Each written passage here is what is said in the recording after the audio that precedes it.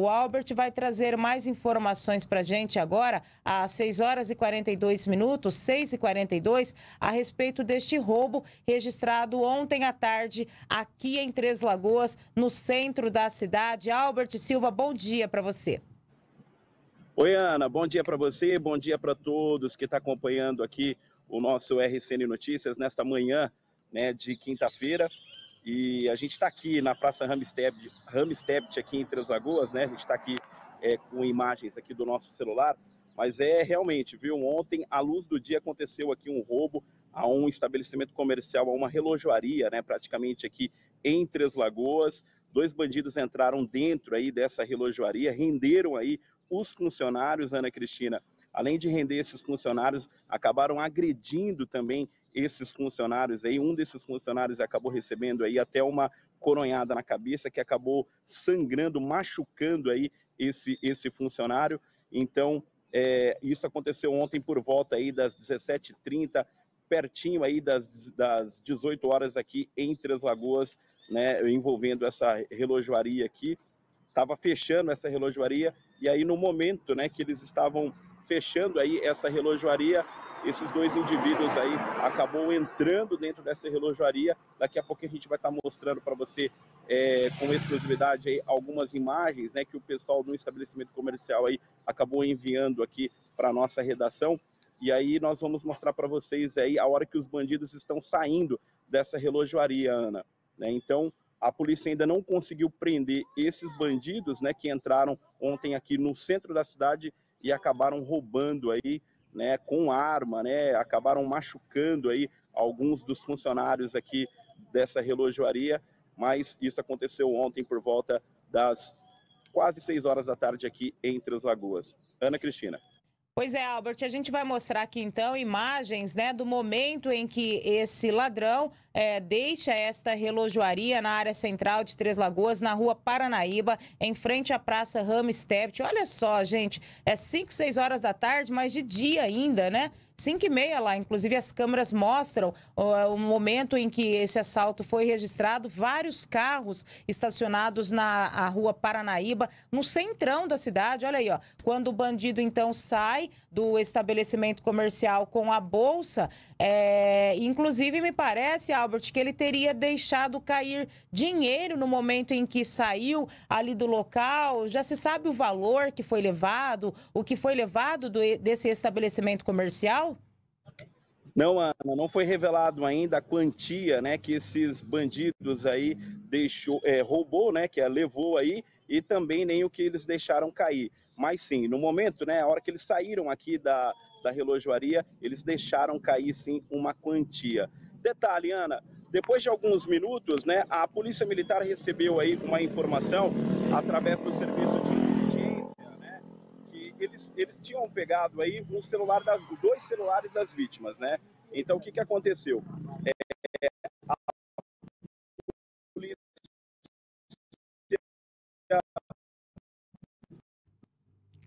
Oi, Albert, nós estamos com um probleminha aí na, na fala com o Albert, na conexão. O Albert está falando a respeito, então, deste roubo, né, que foi registrado ontem nesta relojoaria na área central da cidade, na rua Paranaíba, às 17h30, gente, 5h30 da tarde, aquele sol, porque 5h30 horário de verão, Tá sol, tá de dia. E a gente vê, eu tô conversando aqui com o Beto, chama a atenção da gente, porque tinha, é, inclusive, um motorista dentro do carro ali, tinha pessoas na rua Paranaíba, né? E como que as pessoas não perceberam esse movimento dentro do estabelecimento comercial? Olha aí, quando os dois saem, na verdade, o outro não é cliente, os dois são os bandidos. Dois saem, ó, um com uma sacola na frente e o outro com a, a outra sacola na parte de trás. Então, dois assaltantes saem desse estabelecimento comercial que fica ao lado de uma lanchonete em frente à Praça Ramstedt, um local de muito movimento, gente. Olha a audácia desses bandidos. E eles não estão é, com a cara coberta, né, Beto? Não, só com a máscara. Estão com uma máscara de boné e olha só, sai normalmente. Esses dois aí que estão com essa sacola levaram esses objetos, dinheiro, e o que chama atenção é que tinha gente, motorista, né, parado ali no, na frente e ninguém percebeu nada. É, e outra questão também é que nesse relógio, no relógio central aí da rua Paranaíba, tem câmaras de monitoramento, né? Tem câmaras de monitoramento é, que são acompanhadas em tempo real pela Polícia Militar, no segundo batalhão da Polícia Militar tem todo um sistema de vídeo monitoramento que acompanha é, a, em tempo real a cidade, né? É, e aí, olha só, a gente vê que parece que ninguém percebe o que está acontecendo ali no local e os dois saem é, com essa mala de dinheiro, duas bolsas. E, Albert, depois desse assalto, ah, daqui a pouquinho eu vou voltar com o Albert. Então, a gente teve um probleminha na conexão com, com o Albert, porque depois deste assalto, a polícia conseguiu recuperar, inclusive os celulares é, das vítimas, né? Foi feito um rastreamento e a polícia conseguiu é, é, localizar esses celulares que foram levados pelos bandidos. O Albert já já vai trazer mais detalhes para gente a respeito do desdobramento deste assalto que aconteceu ontem em plena luz do dia no centro de Três Lagoas. A gente tem falado diariamente sobre a criminalidade aqui na cidade. Tá feio o negócio. Quando a gente cobra da polícia, quando a gente cobra das autoridades de segurança pública, a gente não está falando muito. É porque a gente está vendo o que está acontecendo. Todos os dias aqui no RCN Notícias, a gente está falando de furtos, furtos, furtos, roubos. Olha aí. Olha o que aconteceu ontem, em plena luz do dia, 17h30. Assaltaram uma relojoaria. E é o que eu falo, gente, não é fácil você manter um estabelecimento comercial aberto. São encargos, funcionário, energia, água, são impostos que você tem que pagar. E aí vem os bandidos e levam o que você faturou durante o dia, produtos, né, que não são baratos, de uma relojoaria. E aí, quem paga? Quem arca com as despesas? É por isso que a polícia tem que estar nas ruas, tem que continuar fazendo mais operações. Se no centro da cidade está acontecendo isso, numa rua movimentada, 5 e meia da tarde, local é que tem movimentação, que tem câmaras de segurança para tudo quanto é lado. Imagine nos pontos mais afastados, nos bairros onde não dispõe é, desses sistemas de vídeo monitoramento que não tem câmera. A situação é complicada, Albert. Eu volto com você ao vivo para a gente continuar falando do desdobramento deste caso, desse assalto registrado ontem à tarde em uma relojoaria aqui no centro de Três Lagoas, porque os ladrões levaram também celulares das vítimas, Albert. Pois é, Ana, minutos depois de tudo isso acontecer, desses ladrões entrarem aí dentro dessa relojoaria, né, é, render aí os funcionários, acabar dando coronhadas aí nesses funcionários, em um que acabou sendo até machucado. A gente viu aí, né, que o pessoal aí de um estabelecimento comercial acabou cedendo aí algumas imagens para a gente aí com exclusividade ontem desses bandidos saindo. O que, que aconteceu? Minutos depois, ah, foi, foi, eh, foi apresentado, né, dois aparelhos de celular que foi produto de furto, isso lá na delegacia. Só que o que, que aconteceu? Eu vou contar essa história para vocês em detalhes. Um motorista recebeu uma ligação, né? Recebeu uma ligação de uma corrida no momento em que aconteceu esse roubo aqui em Três Lagoas. Ele recebeu uma ligação, né? Iria pegar esses dois passageiros em uma rua aqui em Três Lagoas. A hora que esse motorista chegou até essa rua, ele encontrou os dois aparelhos de celular e em seguida o setor de inteligência da polícia, Ana, já estava né, com a localização em tempo real de um desses celulares. E aí a polícia acabou abordando aí esse veículo, que foi um veículo Fox de cor preto, né?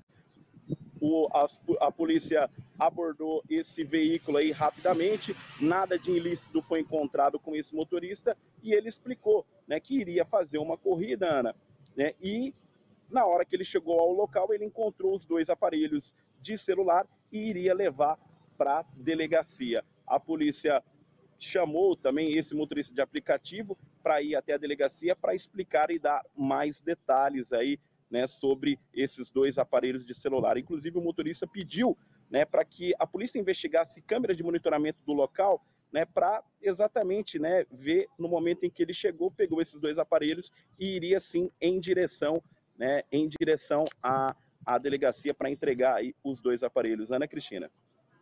Exatamente, Albert. É algo agora para a Polícia Civil né, investigar, esclarecer este assalto, porque esses dois bandidos, eles solicitaram, né, então, motorista de aplicativo. Esse motorista certamente sabe é, para onde, é, onde deixou esses dois ladrões e, enfim, ele deve explicações também com relação a esses aparelhos, né, que foram localizados. É um trabalho aí para a polícia agora é, concluir essas, essas investigações. E o que chama atenção, Albert, a gente vendo nas imagens, nos vídeos é, de, da Câmara de Monitoramento, é a frieza desses ladrões, né? Eles saem normalmente, assim, não saem correndo, apavorados, né? Quando fazem um roubo. Não, eles saíram andando com as malas ali provavelmente cheias de dinheiro, joias, objeto que eles é, roubaram ali no centro da cidade.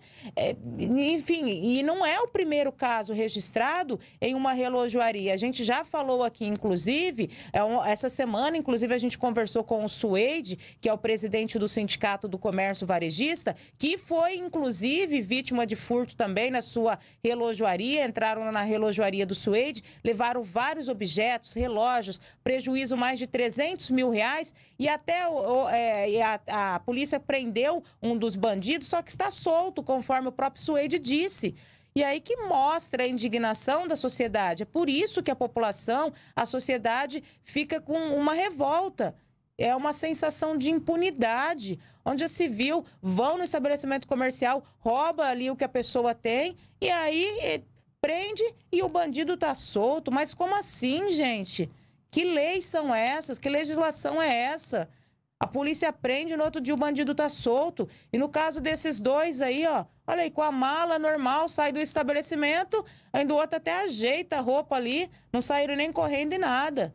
Então a polícia precisa continuar é, com mais operações, tem que dar mais resposta para a sociedade, tem que aumentar o policiamento não só na área central, como nos bairros. Esta semana a gente conversou com o Suede e ele falava justamente sobre isso, sobre a falta de efetivo em Três Lagoas tem pouco efetivo a Polícia Militar, número reduzido de policiais, número reduzido de viaturas para o tamanho da cidade. Três Lagoas chega a 135 mil habitantes, é, com poucas viaturas, pouco efetivo, que não dá mais conta é, do tamanho, a cidade cresceu. A gente tem falado aí dos bairros da cidade, moradores sendo alvos de furto. No bairro Paranapungá, esta semana, uma senhora teve a casa toda revirada, levaram praticamente tudo desta senhora, de um casal de idosos. Até quando as pessoas vão ficar convivendo com isso, né? Oi, Beto.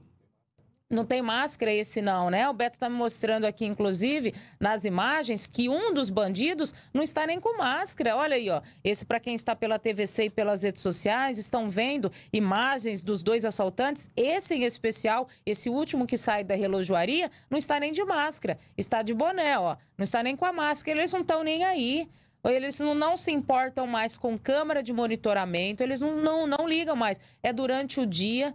Então a polícia precisa dar uma resposta e o poder judiciário também. A justiça, essas pessoas precisam ficar presas, gente. Não adianta a polícia prender e passa na audiência de custódia, de custódia vai solto. Agora, em pouco, a gente trouxe uma reportagem aqui da Bia mostrando um ladrão que foi preso com 15 furtos nas costas. E aí ninguém aguenta mais, Albert. A situação está ficando cada dia mais complicada em Três Lagoas, uma cidade que cresce, uma cidade que se desenvolve, com isso também aumenta-se a criminalidade. E é por isso que as forças de segurança pública precisam estar preparadas para isso, para esse combate à criminalidade, né? Pois é, Ana. A gente acredita que nas, nos próximos minutos, nas próximas horas aí, a polícia deva dar uma resposta com relação ao que aconteceu aqui em Translagoas, né? É o que você disse aí, no começo da semana a gente conversou aí com o Suede, que é o presidente aí do Sim Varejo aqui em Translagoas. Ele falou aí da preocupação, né, com os comerciantes, né, com relação aí ao número de furto, número de roubos que vem acontecendo aqui em Translagoas. Mas a polícia está de olho, viu? Inclusive essa resposta rápida, né, de encontrar rapidamente esse aparelho de celular e imediatamente levar para a delegacia para ver se fica mais fácil para identificar aí o autor aí desse roubo que aconteceu ontem aqui em Translagoas, que infelizmente que desde o começo do ano o número de furtos, o número de roubos né, tem um número grande. A gente não terminou ainda o mês de janeiro, né? e a gente tem mais de 100 ocorrências envolvendo furtos e roubos aqui em Três Lagoas, o que assusta e a gente lamenta muito, Ana Cristina. Exatamente. Obrigada, viu, Albert, pela tua participação. É, espaço está aberto para você. Assim que tiver mais novidades sobre este caso, espaço aberto, tá bom? É, 6 horas e 57 minutos, 6 e 57. Olha só, a gente está recebendo aqui vários recadinhos, pessoas comentando a respeito da criminalidade em Três Lagoas. A Tâmara Barreto diz: Bom dia, Ana Cristina. É, cadê os policiais que ficam na praça? É um absurdo isso. Não temos mais segurança nem dentro de casa, no centro centro da cidade. Durante o dia está assim. Imagine à noite, as madrugadas. Obrigada, viu, Tâmara? A, também quem mandou recadinho pra gente, a Ana Lúcia, ela diz: olha, não tem é, que soltar eles. Meu Deus, muita falta de competência, né? É, os bandidos têm que ficar preso. Ah, quem mais mandou recadinho pra gente aqui? A Isabel Veríssimo diz: Bom dia, anos. Comerciantes têm que colocar guarda. Aí acaba com isso. A Cris Oliveira Simões, a bandidagem em Três Lagoas está demais. Infelizmente, não existe mais aquela cidade tranquila. Verdade, viu, Cris? O negócio está complicado. A Selma Carneiro diz: Bom dia. Quando vamos ter sossego? Tudo caro e ainda roubo é, com mais prejuízos. A Maria das Dores diz: Olha, aqui em Cacilândia também também teve um assalto, um assalto igual a esse às 16h30 em uma relojoaria. A Ana Lúcia, bom dia, Ana. Mas tem que ter mais policiamento no centro da cidade. Cadê eles nessas horas? E é, é engraçado porque ali na esquina, inclusive, tem até um ponto policial, né? É, que, que os policiais ficam ali. Tem até uma tenda que foi colocada bem na esquina ali provavelmente não tinha policiais nesse momento ali no local. É claro que a gente sabe que não tem como ter polícia 24 horas em todos os locais, ah, mas nesses horários, assim, horário que vai fechar o estabelecimento comercial, que o pessoal está encerrando as atividades, é importante ter mais rondas nas ruas. Isso inibe a ação dos bandidos. É, agora a polícia se cabe, a polícia civil, então, esclarecer este caso, né, este roubo registrado ontem às 17h30 na rua Paranaíba, é, no, na área central de Três Lagoas, em frente à Praça Ramstedt. Lamentável, né, gente?